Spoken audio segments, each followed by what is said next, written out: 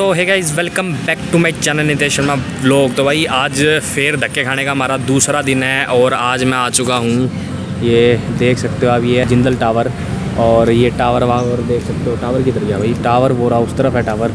तो जिंदल जिंदल टावर पे आज हम लोग आ चुके हैं और जिंदल टावर पे क्यों आए एक्चुअली काम हमारा जिंदल टावर में है। जिंदल टावर पे थोड़ी सी एकांत जगह देखी थी और यहाँ पे व्लॉग स्टार्ट करा बाकी भीड़ भीड़ बहुत थी और थोड़ा शोर वोर कम हो इसलिए नगर निगम में आया हुआ हूँ आज मैं। आज मुझे नगर निगम में थोड़ा सा काम है और नगर निगम के बाद दोबारा मेरे को पटवारी पर जाना है। फिर मेरे को तहसील ऑफ़िस में जाना है। फिर मेरे को आज बैंक का भी काम है। तो आज तो आज सारा दिन अपने यही काम चलते रहेंगे, इधर उधर के ये जो दो चार काम है, बस यही काम अपन लोग करेंगे। और नगर निगम में भी बहुत हालत टाइट है भाई टाइम बहुत लग जाता है। तो टाइम हो रहा है सुबह के नौ नौ बजे मैं निकल गया हूँ वापस से, और देखते हैं आज तीन बजेंगे चार बजेंगे दो बजेंगे तो क्योंकि काम बहुत ज़्यादा है। कल तो एक ही पर्टिकुलर काम था, आज तीन चार काम है तो देखते हैं कितनी देर लगती है। तो बने रहो आप हमारे साथ ही, और थोड़ा सा व्यू देख सकते हो, ये जिंदल पार्क है, ये मेरे साइड में जिंदल टावर है सॉरी जिंदल टावर है, ये मेरे साइड में। और इसी के साइड में अपना नगर निगम है तो बने रहो आप हमारे साथ, मिलते हैं थोड़ी देर में, अपना थोड़ा बहुत काम करवा लें। तो बने रहो आप हमारे साथ ही। तो वही ये है नगर निगम ऑफ़िस, मैंने फटाफट सुबह सुबह नौ बजे आ गया था और नौ बजे भी थोड़े बहुत लोग हैं, ज़्यादा लोग आए नहीं और मेरा काम दस पंद्रह मिनट में ही फटाफट हो गया। क्योंकि सुबह सुबह नौ बजे कोई भी नहीं ऑफ़िस पहुँचता ना यार मतलब लोग आते नहीं है सुबह सुबह नौ बजे, लोग दस ग्यारह बजे के बाद आना शुरू करते हैं। और ये है भाई नई बिल्डिंग और यहाँ पर मैंने अपनी बाइक खड़ी करी है, हार्डली पंद्रह बीस मिनट हुए होंगे मेरे को आए हुए और मेरा फटाफट काम हो गया। मुझे इसके बाद जाना है पटवार खाना पटवारी के पास। और ये है भाई यहाँ की नई बिल्डिंग, यहाँ नई बिल्डिंग में मेरा काम नहीं था, मेरा इससे पीछे पुरानी बिल्डिंग में काम था तो फिर चलो अपनी बाइक वाइक उठाते हैं और चलते हैं पटवार भवन। ये देखो भाई, पटवारी का ये सिस्टम बंद है और दस बज चुके हैं और पटवारी साहब आए नहीं हैं। तो ये सारा पटवार खाना है भाई, जितना भी है। ये सब का सब पटवार खाना है, ये सारे काम यहीं पे होते हैं। तो वही आधा घंटा इंतज़ार करने के बाद हम क्या देखते हैं, यहाँ पर लिखा हुआ है, नौ बजे से बारह बजे तक पब्लिक के लिए अवेलेबल होता है। नौ बजे खुल जाना चाहिए ऑफ़िस लेकिन अभी भी साढ़े दस बज चुके हैं, ये ऑफ़िस नहीं खुला है।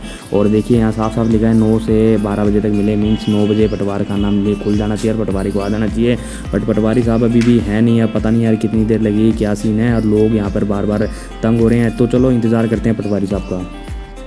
तो वही दो घंटे हो गए हमें पटवारी साहब का इंतज़ार करते हुए। पटवारी साहब नहीं आए हैं और इनका ऑफ़िस खुल चुका है, जैसे देख सकते हो, जो सफ़ाई करने वाले हैं या फिर जो असिस्टेंट है, उन्होंने ऑफ़िस आगे तो खोल दिया है और बोल रहे हैं कि पटवारी साहब किसी मीटिंग में गए हुए हैं, तहसील में।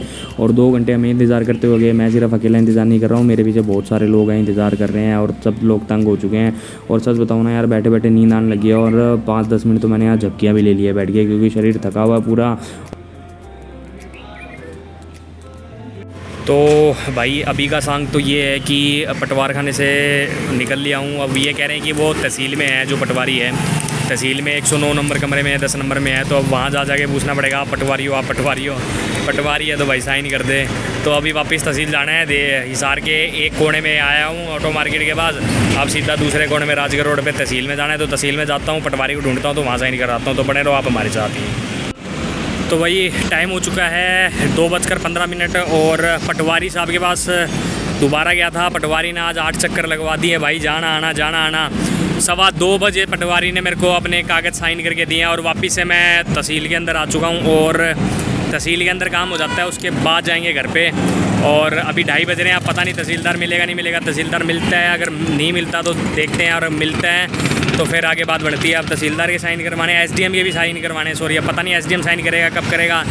सवा दो गए, वह ऑफिशियल टाइम तो उनकी पाँच बजे तक रहने की होती है बट यार ये अफसर आदमी है भाई, ये टिकते नहीं हैं। तो चलो, बने चलो, अभी थोड़ा काम करवाते हैं, फिर मिलते हैं।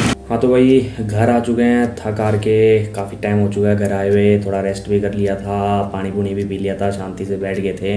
अभी का मुद्दा क्या है ना कि यार, सुबह नौ बजे, सही नौ बजे मैं अपनी फ़ाइल लेकर नगर निगम पहुँच गया था, नौ बजते ही सबसे पहला बंदा मैं था, मैंने फटाफट सवा नौ नौ बीस तक अपना काम करवा लिया।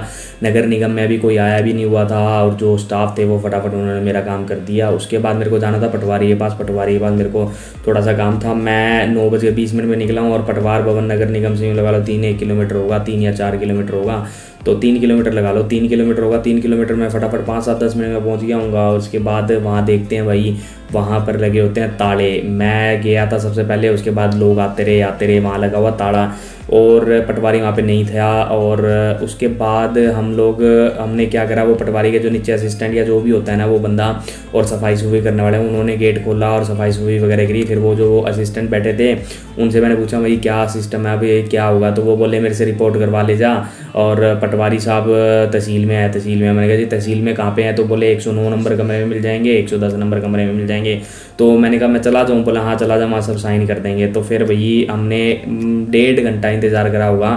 तकरीबन साढ़े ग्यारह, पौने बारह बजे तक मैंने इंतज़ार करा। साढ़े बारह, पौने, साढ़े ग्यारह, पौने बारह बजे मैं वहाँ से बाइक लेके निकलता हूँ, जो कि पटवार भवन से, यानी कि ऑटो मार्केट के उस तरफ़, जो कि हिसार का एक कोण है। वहाँ से मैं निकलता हूँ और बाइक लेकर के धूप में पाँच किलोमीटर कवर करते हुए अपने यहाँ पर आता हूँ, अपने राजगढ़ रोड पर तहसील में। बाइक खड़ी करता हूँ, तहसील के अंदर जाता हूँ।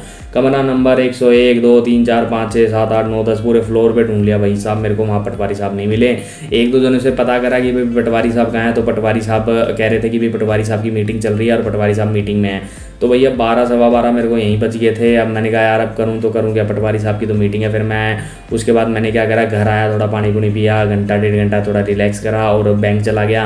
और बैंक में अपना जो भी काम था, एक घंटा लगा मुझे बैंक में, वो काम निपटाया। उसके बाद पौने दो बजे मैं फिर यहाँ से मैंने बाइक स्टार्ट करी और डेढ़, पौने दो बजे मैं यहाँ से निकल गया था और पटवार वन में पहुँच गया। अब जाके देखा तो दो बजे पटवारी वहाँ पे बैठे बैठे हुए थे और मैंने उनसे पूछा तो वो अपने काम में लगे थे। उन्होंने पंद्रह, बीस मिनट और वेट करवाया, वो काम कर रहे थे कुछ।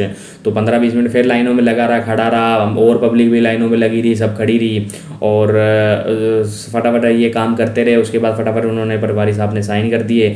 साइन करने के बाद सवा दो ढाई बजे होंगे, वहाँ से मैं उठ के आया, तहसील में आया, तहसील में आया, फटाफट मैंने कहा, देखा आप तहसीलदार, मेरे को वेट ना करवा दे, अगर इन्होंने भी वेट मेरे को वेट करवा दी तो पाँच मेरे को यहीं बजाने फिर तहसीलदार हो, एक सौ तीन नंबर कमरा है शायद तहसील में वहाँ पर जाके मैंने साइन वगैरह करवाए, फिर उसके बाद तहसीलदार साहब के पास गया, तहसीलदार साहब के साइन फटाफट हो गए थे, कोई दिक्कत नहीं है, फिर मुझे थोड़ा सा एक जने की और साइन करवाने थे। तो मैं वहाँ साइन करवाने कर दिया नहीं सब काम में हो गए, ढाई बज गए, फिर मुझे एक काम और था, इसी से रिलेटेड वो काम करने चला गया था मैं, और फिर वहाँ पर मेरे को एक घंटा और लग गया, साढ़े तीन, पौने चार वापस से हो गए थे। फिर बाइक उठाई मैं, साढ़े तीन, पौने चार बजे घर आया, घर आके पानी वानी पिया सबसे पहले तो ना, पानी की प्यासी दिन रहती है एक मेरे को लेनी है बढ़िया सी बोतल जिसके अंदर जो इंसुलेटेड बोतल होती है ना, थोड़ा ठंडा पानी भी रखें तो वो गर्म नहीं होता तो थोड़ी इस टाइप सी बोतल लेनी है। और उससे क्या होगा ना, वो पर पर्टिकुलर आपके बैग में रहेगी ना, पानी पीते रहो। एक तो फास्ट है यार, हर जगह वैसे ही पानी वगैरह नहीं पी सकते हैं।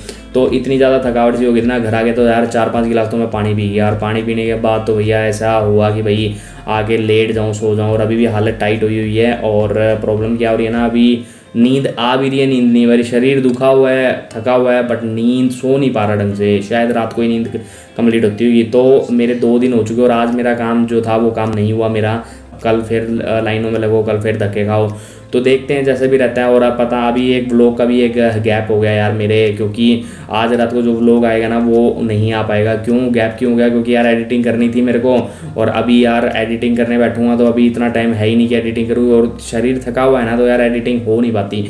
माइंड चलना बंद हो जाता है, शरीर थका होता है। तो तो आज का व्लॉग शायद ना आ पाए, देखता हूँ, कोशिश करता हूँ, आठ बजे से पहले एडिटिंग कंप्लीट होगी तो व्लॉग आ जाएगा, नहीं तो यार एक दिन का गैप और लगेगा। तो उन सभी के लिए मैं माफ़ी चाहूँगा कि एक दिन का गैप और लग गया, क्योंकि यार मेरे पास कंटेंट तो शूट कर रखा है मैंने, लेकिन उसको एडिटिंग करने में काफ़ी ज़्यादा टाइम लगता है। तो प्रॉब्लम ये बनी हुई है। तो बस अभी के लिए इतना ही है। अभी मेरा काम नहीं हो पाया। कल भी देखते हैं, लाइन में लगना है, नहीं लगना परसों देखते हैं।